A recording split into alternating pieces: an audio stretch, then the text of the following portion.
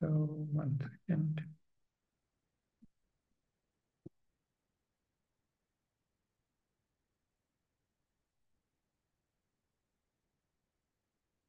All right.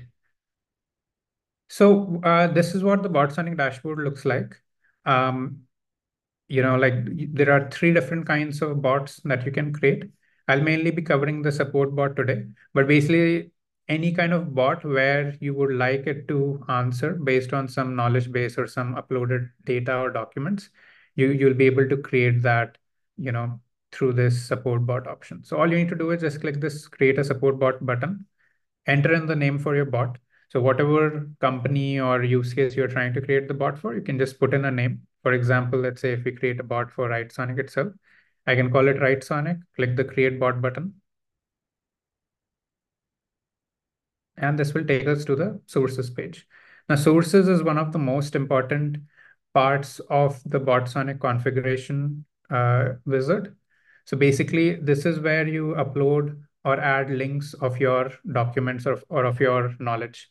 So there are multiple different ways you can upload your data. One is, of course, files. So we support multiple different kinds of file formats, PDF, Word documents, TXT files. So any of those kinds of files you can upload here and as many as you want. We also have links. So if you don't have files or you know you want to directly add a website link, so you can enter your website links, you can enter your you know YouTube video URLs as well. So a lot of different kinds of links can be entered here. Then sitemap is another thing. So if you know sitemap kind of list down all of those, all of the URLs that are present in your website. This helps BotSonic easily kind of find all of those different website links and use them to train the bot on. And then FAQs, I'll quickly jump to in a couple of minutes. And then we also have integration. So currently we have an integration with Notion, where if you have a Notion uh, workspace, you can directly connect it using this button and automatically use the data from Notion to train your bot instead of manually uploading the files. So let's try uploading a couple of files. What I'll do is, first of all, I'll go to writesonic.com because we are creating a bot on Writesonic. So I'll just copy the homepage link. I'll type it in. Secondly, let's say we go to the pricing page. So I'll go to writesonic.com slash pricing. I'll add that. Similarly, we'll add BotSonic pricing.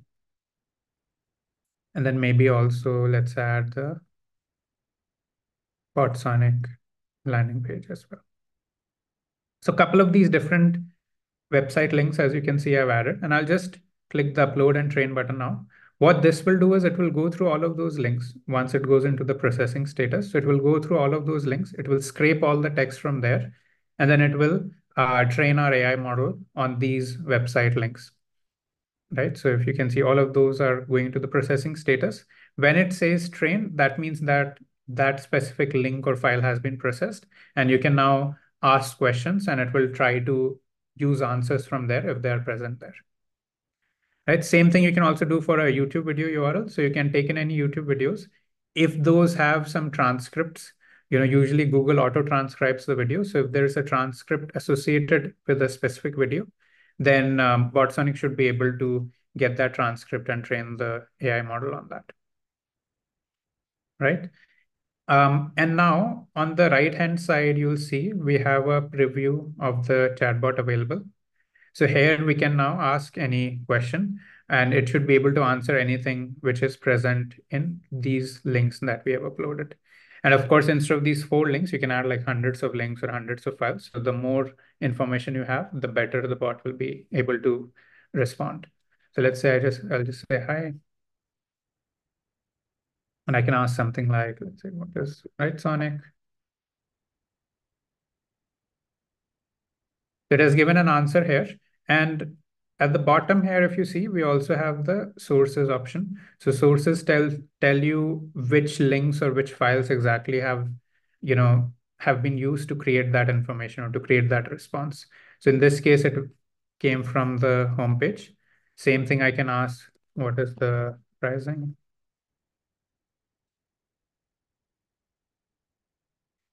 So here it has given the pricing. Again, it's well formatted. And in this case, it came from writesonic.com slash pricing, right? So just like that, I mean, pretty, pretty seamless. You just upload your data and you should be able to then ask any question related to that data. Now, one very important part here I'll cover, which is FAQs.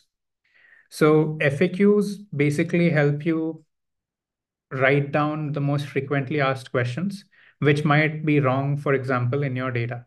So a couple of different use cases here, either, for example, something which is not present in your data, but you want a lot of people are asking for it and you want the answer for that to be, you know, accurate.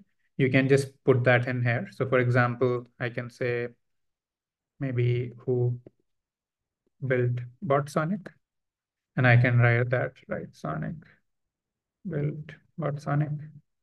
So now when someone asks a question which is semantically similar to who built BotSonic or who was BotSonic built by, who made BotSonic, all of those kinds of questions doesn't need to be exactly the same, but semantically similar, then um, you know it should be able to use this FAQ to answer that question uh, as it is right? So similarly, you can add multiple different FAQs. Now, the real importance of this comes into play once you have hundreds or thousands of files and some information that might be present, let's say in some of those files might be out of date. So what you can do is just come here, write the most recent information here, and the bot will consider this FAQ answer to be a higher priority than your uploaded files, and it will be able to give a more accurate and up-to-date response there right? Now we'll jump into settings very quickly. So settings is, you know, it's probably the most second most important part here because it lets you really, really customize the bot as per your brand, as per your, you know, unique needs. So in this case, let's start with the appearance tab. First of all, I can enter in the bot name. Uh, I'll leave it at Writesonic company name. Again, you know, very common fields. Anything that you modify here will show up right uh, on the chatbot. So for example, I can put Writesonic here as well. So this has been updated. Company logo and bot avatar you can upload. So company logo is what you see here and bot avatar is, you know, what the bot responds back with. So I'll just upload the Writesonic logo here. And you can crop and stuff as well, as you saw. So you can crop as needed to get the adequate amount of image there.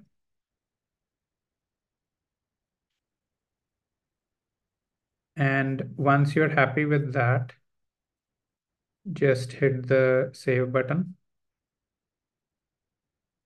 And yeah, here it has been updated. Yeah. So the icons have been updated. Similarly, you can also update the color. So let's say maybe I go with yellow and any of the text here. So hey there, how can I help you? All of the text here that you see can be modified here. So I won't go through each one of them, but you get the idea. You can, any text that you need to modify, you can come and edit over here. Now these three, four settings are quite important. First is hiding the branding. So if you see at the bottom, it says powered by BotSonic. If you would like to hide this banner, you can uh, do that. You can just click this hide button. It does require an add-on, so you'll need to purchase a separate add-on, but you should be able to do that. Similarly, widget position, like you want this bot to appear on the left-hand side of the screen or right-hand side, that can be controlled over here. Then we have show sources. Uh, as we saw a couple of minutes back, whenever BotSonic re replies back with a response, usually it shows where that information came from. So either you can keep it visible or you can also hide it. And then finally, we have the post-chat feedback, which is where once the user tries to end the chat, it will ask them for a rating and some feedback. So that is something you can, of course, keep or you can also remove. So I'll just quickly show what that looks like. I'll click save. My branding has been removed here. I'll just say hi. Now, if I try to kind of end this, it will show me this pop-up message. This is the post chat feedback where the user can give a rating whether they you know, whether the bot was able to resolve their issue or not. And they can add in any comments here as well. Or if they are in a rush, they can also skip it. So that was that. Similarly, bot settings we have, so you can choose the template. Um, for most use cases, support template where you want your data to be used to answer the questions. Support is the recommended one. Uh, we'll also go through personalized and e-commerce probably in, uh, in the next webinar. but usually support should do the job. Second is the response length. Uh, by default, this is set to short, so it will answer between 50 to 100 words for every response. But you can also make it medium or long if you if you want longer responses there. And multilingual support is also enabled. So if you type um, even in some other language, it should be able to answer it uh, without even separately training it on, let's say, French data or German data. All you need to do is just ask here, and most probably it would be able to answer it in whatever language you ask. And then finally, you can also choose the AI model. Um, by default, it uses, it, this does not necessarily use OpenAI uh, GPT 3.5, but multiple other models which are in the same class as GPT 3.5. So we use, we are model agnostic. So multiple different models are being used like Anthropic's Claude 1, um, Mistral, bunch of these different models. And depending on the latency and the quality and a couple of different factors, these um, models will automatically be selected. And you can also go with a bigger model like GPT-4 or other models which are in a similar class for even higher quality response. But of course, it would be a little bit slow in replying. So totally up to you. I'll, I'll just leave it at 3.5 for now. Right. And then there are a couple of other settings which you can go through. Uh, one very important one here being the chatbot guidelines. So if you want to train the bot to reply in a certain way, you can add it here. So for example, let's say I always wanted to be polite and never, you know, say any rude words. So I can just say the same thing here. Be polite and never be rude, right? You can also add some very specific things like, for example, when the user asks for an enterprise plan, ask them to contact support, oh, sorry, sales at Writesonic right? So you can be as specific as you want, but basically here you are modifying the behavior of the bot to act in a certain way when certain conditions uh, are being met there. So you can totally write those conditions in natural language like how you normally do, and the bot should be able to pick it up. So I'll just save that.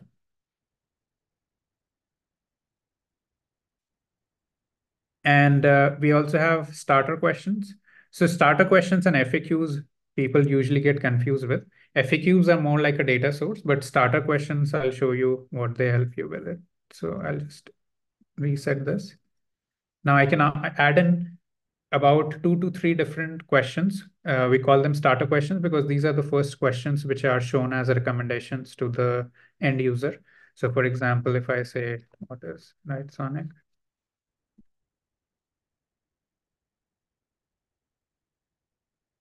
So let's say 100 people every day come to my chatbot and ask about Writesonic. I can just create an uh, create a starter question for that.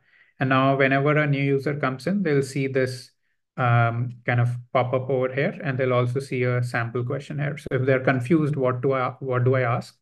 They can get a hint and click on it, and it will, you know, reply back. So it's just to get the user started so that they're not overwhelmed, right? And you can add up to three starter questions here.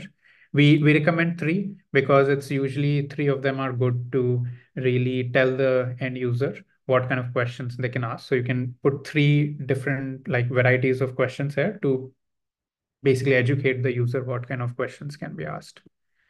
And uh, finally, for lead generation, again, one thing that a lot of users ask us for is this user form. So you can, you know, show or hide this user form. And what it will do is at the starting, it would ask the user for their name, email. You can also add more fields here like their phone number. And all this data will get uh, collected, which you can then later use for lead generation for sales for those kinds of aspects as well. So that was about sources settings. Um, we also have inbox. So all the conversations that you or your users have with the bot are being logged here. So you can see all the conversations that were happening uh, what were the sources that were used to answer that. So all of this can be used. You can also block certain IPs if needed. And the data that you collect via form is available in the users tab, and you can um, export that data. Of course, we don't have any data right now, but if you have collected that data, you can export it from here. We also have analytics where you can see how many total conversations were there, how many uh, users were there. So all of that data can be found here. And now the one of the other most important bits. How do you actually embed this bot or use this bot, uh, you know, in a day-to-day life. So very first thing is you can put it on your website. All you need to do is, you know, go here where it says embed the bot. You can click the copy button and you can just ask your developer, or if you are a developer yourself, you can just paste this on your website and the bot will start showing up. So I'll show, a, show an example. There is a website called codepen.io where you can paste sample code. So let's, let's assume this is your website. And in the HTML, I can just paste that code. And within two, three seconds, my bot would appear here. And there you go. So that's all you need to put it on your website. It's, it's that simple. You just copy and paste the code and uh, the bot will start working there. Uh, of course, you can modify everything here. You can, you know, if you want it to not appear on the right side, but on the left side, all of that can be modified from the settings. Right. You can also put an iframe here. If you want a bigger bot, you want to control the dimensions. You can use it via the API. And then we also have a ton of integrations with things like WhatsApp, Telegram, Calendly, Facebook Messenger. So a lot of these different integrations are available for you to use. And you can explore them and use them as you wish. And two or three of them I like to point out here. So WhatsApp and Severe, of course, uh, you know, very simple ones where on WhatsApp, your users can interact, you know, with the chatbot that you train.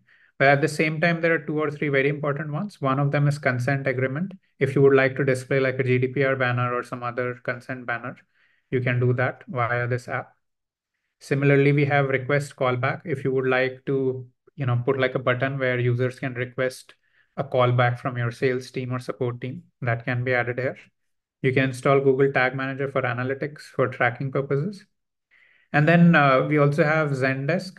Zendesk one allows you to, you know, if you use Zendesk for um, kind of the, you know, help desk kind of thing, you can uh, install this and whenever the bot is unable to answer, it will automatically create a summary of that conversation and send it to Zendesk so that a human on Zendesk side can pick it up. So this is also very handy, uh, handy app that a lot of people use. And similarly, you can explore some of the other ones. We have docs for everything, and you can learn more about them there. One last thing here, there's also a share tab. So you can click on that share button and click enable this will give you a publicly uh, available link, which you can share with your colleagues or friends. So they can also test out the bot um, before you even add, it to your website or WhatsApp, all of those kinds of things. So this basically just um, shows the bot in like a window kind of thing. So you get a full screen bot and same activities that you do on the normal bot can be done here as well. So yeah, that's about it. Um, a lot of information we covered. So if there are any questions, happy to take that up. But otherwise, as we were mentioning, we do have a uh, one month, you know, business plan available for you to try it out for a month. And uh, any queries, our team is available to help out. But it's pretty seamless. So I'm sure that you won't need a lot of help. And then, of course, our customer support team and our documentation are also available there to help out as needed.